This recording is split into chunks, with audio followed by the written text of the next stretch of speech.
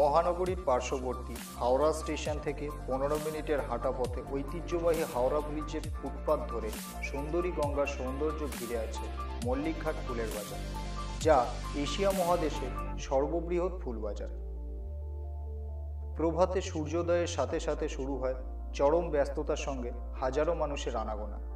হাওড়া ব্রিজের নিচে বিরাজ করেন গঙ্গা দেবী যার এক প্রান্তে হাওড়া স্টেশন, অন্য প্রান্তে মল্লিকঘাট। যেখানে লক্ষণীয় অনেক সাধারণ মানুষের গঙ্গা দেবীর আরাধনা থেকে সূর্য তৎকালীন সময়ে এই পুজোর প্রয়োজনীয় ফুল জোগাতেই শুরু হয় একে একে ফুল ব্যবসায়ীদের আনাগোনা।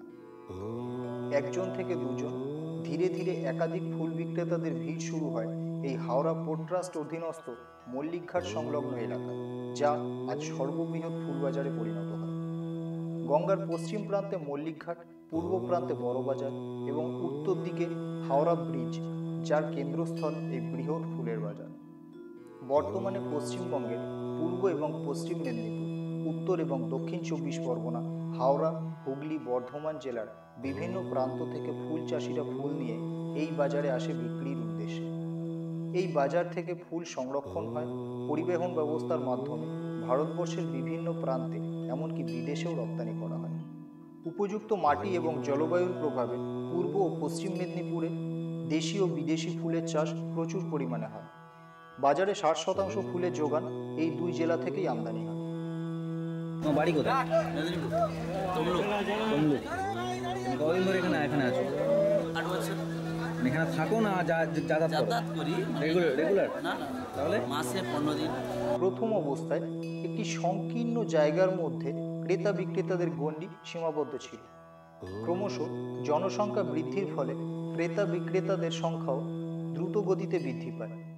বাজারটি আয়তনে খুব ছোট হওয়ায় সমস্ত বিক্রেতারা বাজারের ভেতরে বসে ব্যবসা করার সুযোগ পায় না। ফলে বাধ্য হয়েই তারা কেউ কেউ ফুটব্রিজের দুপাশে, আবার কেউ কেউ রাস্তার ফুটপাতের দুপাশে ফুলের পসরা সাজিয়ে বসে। কেউ আবার বাজারে ঘুরে ফুল ফেরি করে।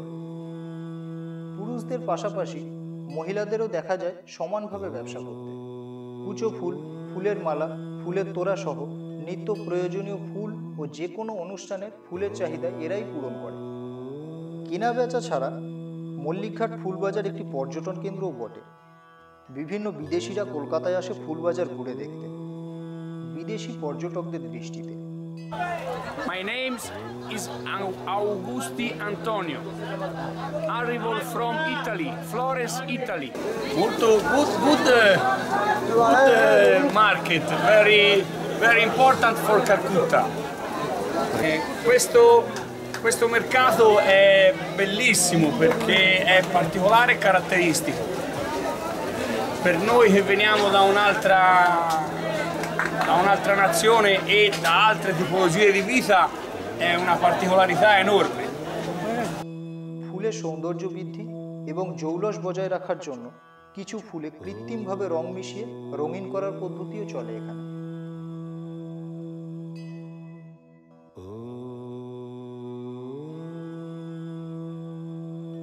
যে সমস্ত ফুল বাইরে রপ্তানি করা হয়, সেগুলি যাতে নষ্ট না হয়, তার জন্য থাকে বরফ দিয়ে প্যাকেজিং করার সুব্যবস্থা।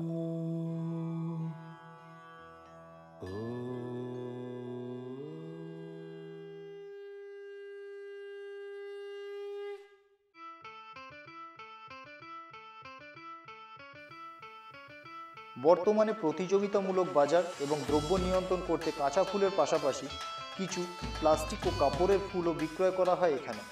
যেগুলি বিভিন্ন ফুলের সাজসজ্জা করতে কাজে লাগে।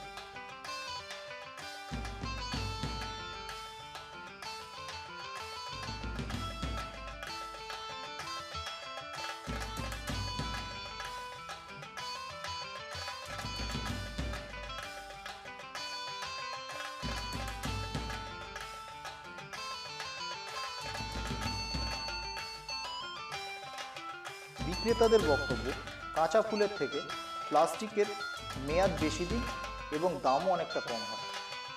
আসুন শুনে নি বিক্রেতাদের কথা। আমাদের ড্রাই ফ্রুটের বাজার তিন মাস ভালো হয়।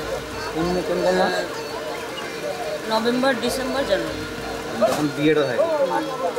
মানে ওই অগ্রাণ থেকে ফাল্গুন পর্যন্ত। খুব ভালো বাজার কখন কীরকম বিক্রি বাট্টা কীরকম হয় পার ডে আমাদের কোনো লিমিট নেই। কোনো লিমিট নেই মানে একদিনে একও হয় আবার ফের পঞ্চাশও হয় আশি হয়। দোকান কি আপনার নিজের? হ্যাঁ। কতদিন আছে দোকান?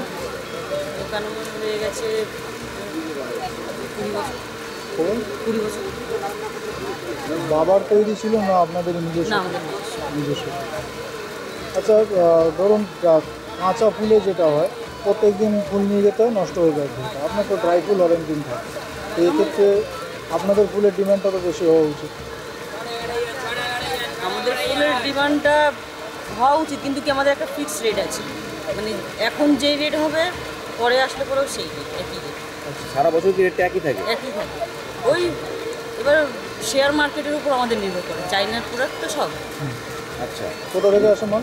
চাইনার এবার শুনব কিছু ক্রেতাদের কথা। আমাদের একটা মেলা আছে আজকে। মেলাতে স্টল সাজানোর জন্য কোথায় বাড়ি? প্রত্যেক বছর আসেন? ওই দমদম থেকে কোথা থেকে আসেন? আমরা কলকাতা কলকাতাতেই থাকে। কত টাকা ফুল কিনলেন? এখন মোটামুটি প্রায় আহ, পাঁচ হাজার আরও কেনা আছে এটা আমরা একটা একটা করে এক জায়গায় জমা করছি। যাদবপুরে তো অনেক বড় বড় ফুলের দোকান। এখানে আসার পরে এখানে অনেক সস্তায় হয়। সস্তায় হয়। প্লাস ফুলটা ভালো পাওয়া যায়। ওরা তো এখান থেকে কিনেই ওখানে বিক্রি করে। আচ্ছা। কতদিন আসছেন এখানে মোটামুটি? যখনই প্রয়োজন হয় আসি বছরে দুবার তিনবার তো আমাদের প্রয়োজন হয় আসি ডিফারেন্স কিছু বুঝছেন? অন্যান্য সময় তো এসছেন এবারে বর্ষার সময় আসলেন এরকম কথা এই তো দেখতেই পাচ্ছেন ভীষণ কাজ ভীষণ বাজে একদম ওই জায়গায় যদি পাকা হতো আরও বৃষ্টির এখানে যদি সেট থাকতো আরও ফুলগুলো ভালো থাকতো বৃষ্টিতে নষ্ট হয়ে যাচ্ছে এখানে যে পজিশন আসছে আসা যায় না। অনেক সময় ইচ্ছে হলেও আমরা ফুলের ডিফারেন্স কি দেখছেন বর্ষায়? বর্ষায় ফুলের ডিফারেন্স এখানে অনেকটা বৃষ্টির জন্য একটুখানি ড্যামেজ হয়ে যায় বেশি দিন লাস্টিং করে আচ্ছা। ভ্যারাইটিস কিছু ফুলের বর্ষায় কি আসে না ওটা অন্যান্য সময়? না অন্যান্য সময়। শীতকালে ভ্যারাইটি অনেক বেশি থাকে। শীতকালে শীতকালে ভ্যারাইটি অনেক বেশি থাকে। এখন তো ভালো ভ্যারাইটি বলতে ওই বিদেশ মানে জারবেরা বলুন বা অর্কিড বলুন ওই বাইরের ফুলের ওপরই ভরসা করতে হয়। লোকাল পাওয়াই যায় আচ্ছা। লোকাল যেটা ইন্ডিয়ান ইন্ডিয়ান প্রোডাক্ট পাওয়া গেলে ফুল। ভালোবাসা নিবেদনের মাধ্যম হলো ফুল। জীবনের স্মরণীয় মুহূর্তকে আরও স্মরণীয় করতে পারে একগুচ্ছ ফুল। গভীর শোকের শ্রদ্ধা জানাতে পারে একগুচ্ছ ফুল। সুন্দরের সৌন্দর্য বৃদ্ধি করে একগুচ্ছ ফুল। আমরা একজন আর একজনকে ফুল দিই এক শক্তিশালী অনুভূতি প্রকাশ করতে। আনন্দদায়ক উৎসব উদযাপন করতে লাগে ফুল। তুমি সুন্দর, তাই চেয়ে থাকি তোমার রূপে আজে ধরিত্রী মহিত। তোমায় ভেবে কবির মনে সুর পাখির বুকে গান। তুমি সর্বসেরা, সর্বজাগৃত, শ্রেষ্ঠ সৃষ্টি। তুমি সর্বসেরা, সর্বজাগৃত, শ্রেষ্ঠ সৃষ্টি। ফুল ফুটুক, না ফুটুক, আজ বসন্ত। শান বাঁধানো ফুটপাতে পাথরে পা ডুবিয়ে, এক কাঠখোট্টা গাছ কচি কচি পাতায় পাঁজর ফাটিয়ে হাসছে। ফুল ফুটুক, না ফুটুক, আজ বসন্ত। আলোর চোখে কালো ঠুলি পরিয়ে তারপর খুলে মৃত্যুর কোলে মানুষকে শুইয়ে দিয়ে তারপর তুলে যে দিনগুলো রাস্তা দিয়ে চলে গেছে, যেন না ফেরে। গায়ে হলুদ দেওয়া বিকেলে একটা দুটো পয়সা পেলে যে হরবলা ছেলেটা কোকিল ডাকতে ডাকতে যেত, তাকে ডেকে নিয়ে গেছে দিনগুলো। লাল কালিতে ছাপা, হলদে চিঠির মতো আকাশটাকে মাথায় নিয়ে এগলির এক কালো কুচ্ছিত আইবুড়ো মেয়ে রেলিংয়ে বুক চেপে ধরে এইসব সাত পাঁচ ভাবছিল। ঠিক সেই সময় চোখের মাথা খেয়ে গায়ে উড়ে এসে বসল আ মরণ পোড়া মুখ লক্ষ্মী ছাড়া প্রজাপতি। তারপর দরাম করে দরজা বন্ধ হওয়ার শব্দ, অন্ধকারে মুখ চাপা দিয়ে দড়ি পাকানো সেই গাছ তখন হাসছে। তোমার রঙে তোমার গন্ধে, তোমার রূপে ভোলাতে এসেছ তুমি জীবন ছন্দে নূতন আলো ছড়াতে। তুমি সুন্দর, তুমি ভালোবাসার শ্রেষ্ঠ নিবেদন। তুমি প্রেম, তুমি পূজা